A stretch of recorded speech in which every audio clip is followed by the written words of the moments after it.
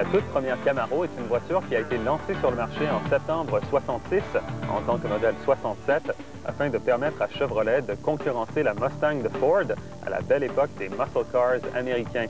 Et la Camaro 93 marque le début de la quatrième génération pour cette voiture qui n'avait pas subi de changement majeur depuis 82, ce qui en fait une voiture très attendue. La Camaro 93, c'est une voiture neuve à 90% puisque seulement quelques éléments ont été retenus du modèle précédent, notamment l'essuie arrière rigide et la transmission automatique à quatre rapports.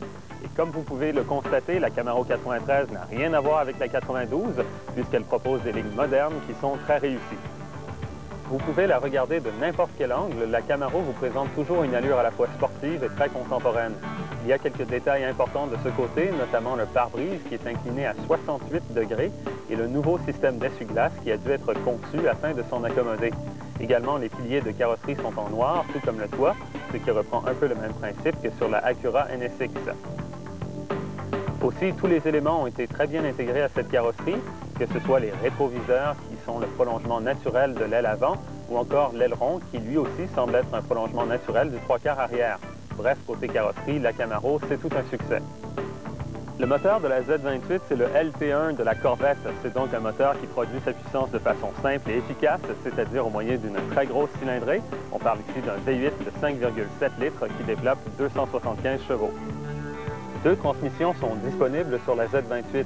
Notre voiture d'essai est équipée de l'automatique à quatre rapports, mais j'ai également eu l'occasion de conduire une Z28 avec la nouvelle transmission manuelle Borg Warner à 6 vitesses, qui est particulièrement impressionnante. Même avec l'automatique, cependant, la puissance est toujours là et le 0-100 se fait en un peu plus de 7,3 secondes.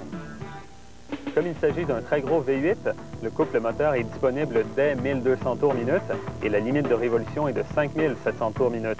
Selon Transport Canada, la consommation de carburant se situe à 14,7 litres au 100 en ville et 9,2 sur la route.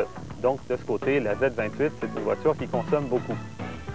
Ici, à l'intérieur, vous allez remarquer que la nouvelle Camaro est maintenant équipée de deux coussins gonflables et que la présentation du tableau de bord est largement améliorée par rapport au modèle précédent.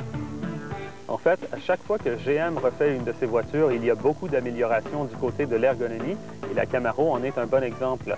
Les sièges avant sont très confortables et le tableau de bord regroupe tous les instruments essentiels dans une présentation efficace. Même chose du côté de la console avec des commandes du système chauffage-climatisation qui sont très faciles à utiliser.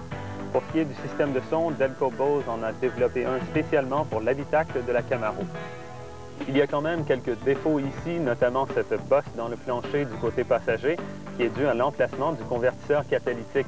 Aussi, malgré la taille de cette voiture, les places arrière sont toujours limitées. Quant à l'espace cargo, c'est toujours un trou profond recouvert d'un cache-bagages et ça, ce n'est pas très pratique.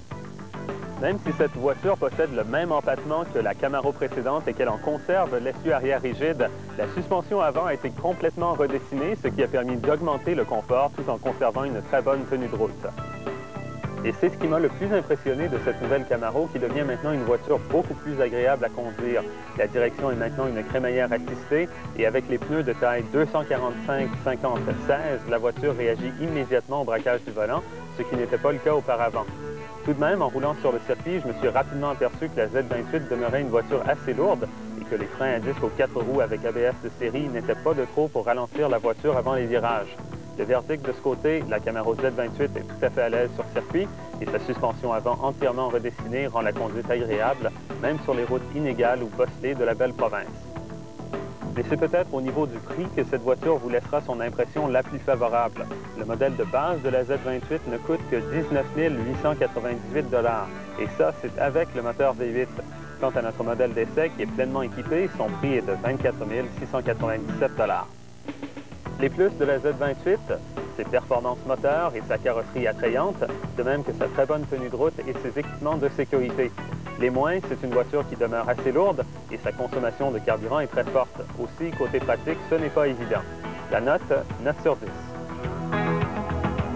Et c'est au niveau du rapport qualité-prix que cette voiture-là est très performante. Faites le calcul, on parle ici de 275 chevaux, de deux coussins gonflables, de freins ABS, tout ça pour moins de 25 000 ce n'est donc pas étonnant que cette nouvelle voiture soit très en demande aux États-Unis et ce n'est pas étonnant non plus qu'elle fasse la fierté des 4000 employés de General Motors au Québec.